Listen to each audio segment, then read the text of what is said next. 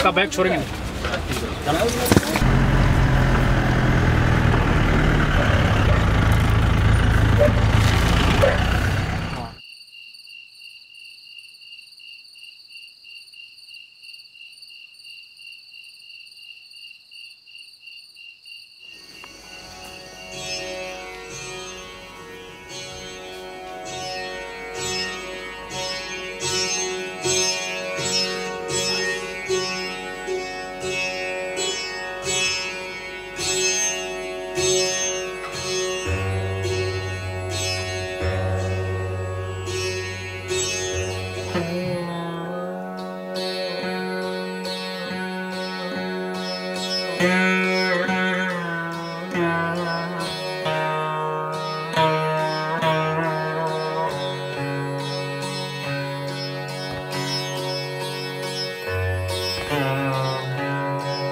Thank.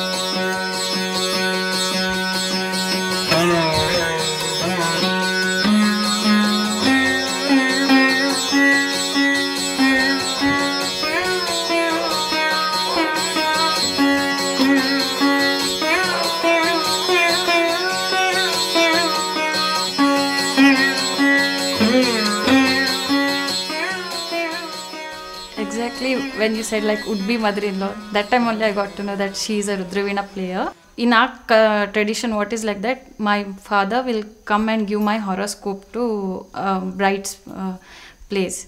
Uh, the day when he came to give that horoscope, that day only article was there on her in Kannada newspaper.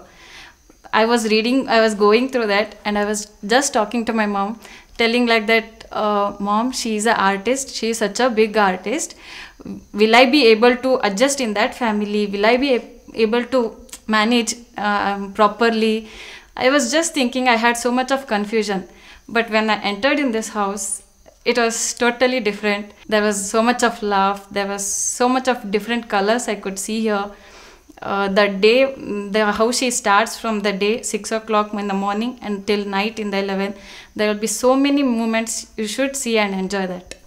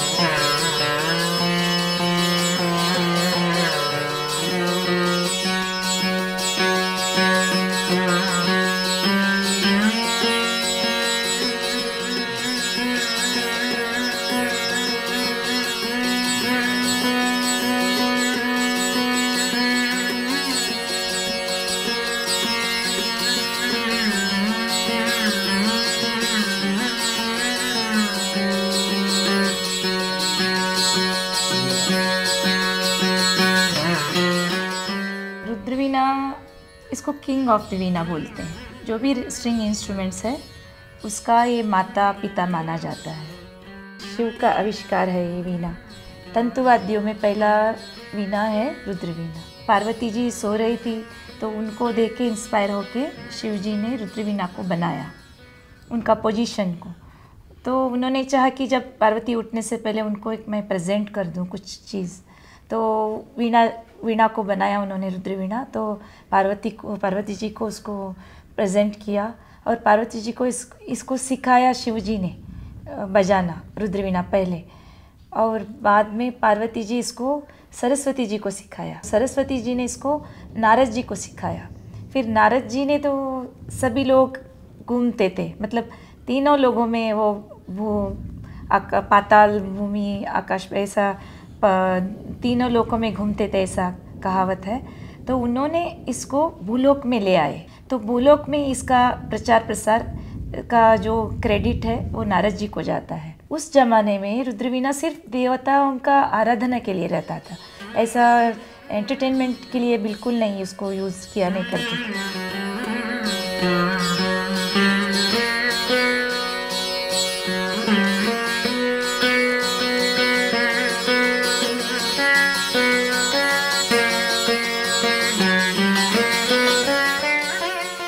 Samaveda उसमें बजाया जाता था। वो श्लोक जो बजाया जाता है, उसका ट्यून कैसा होता है, उसके उसको उसमें बजाया जाता था, उसको उतारा जाता था। तो बाद में जब होम याग यज्ञ, होम ऐसे करते थे ऋषियों ने, उसको, उसके साथ जो मंत्रघोष होता था, उसके साथ रुद्रवीणा बजाया करते थे। मुगल पीरियड में उसको दरबार में लाया गया। उसमें थोड़ा सा शास्त्रीय रंग दिया गया उसको। तो फिर उसमें मतलब उस समय ध्रुपद ही था। तो ध्रुपद के जो बंदिशें हैं, उसको इसमें बजाते थे। तो जो वोकल में गाते थे, उसी को इसी में बजाते थे। और राजाओं के सामने बजाते थे।